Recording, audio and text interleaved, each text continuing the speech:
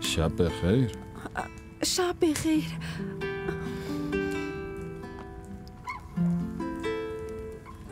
به به آقا قدیر رو تو ببینیم؟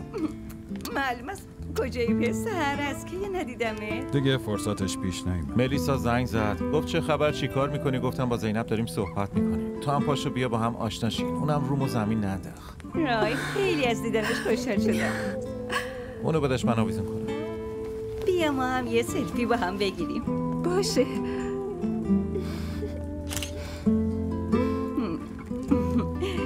خیلی دوست دارم وقتی به حنیفه خانم میگم با دختر آکی فوتوکلوسم قیافشو ببینم اون کیه؟ صاحب آرایشگاهی که توش کار می‌کنم رئیسمو میگم شوکه میشه اینقدر بزرگش نکن چی چی رو بزرگ نکنم بابا یه توی تاجر معروفه.